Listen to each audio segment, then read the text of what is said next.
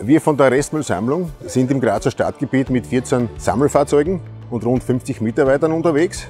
Wir entleeren täglich an die 6300 Restmüllbehälter. Das sind umgerechnet 180 Tonnen an Restmüll. Die Jahreszahl ist interessant, das sind 48 Millionen Kilogramm Restmüll im Jahr. Das ist unser Beitrag für ein sauberes und nachhaltiges Graz.